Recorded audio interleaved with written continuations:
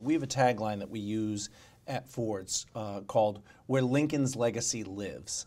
Right. Because we want people to really understand that this is not only the site, the location, the historical site where Lincoln was shot and Lincoln gasped his last breaths in on this earth. Well, it's where Lincoln's legacy literally started. began exactly and so we take that and then we try to use those you know we've created an expansive education program where we use oratory uh, we work with lincoln speeches and we work with great orators throughout the, the generations uh, teaching young people about the power of speech teaching young people about the power of sort of lincoln's lessons in leadership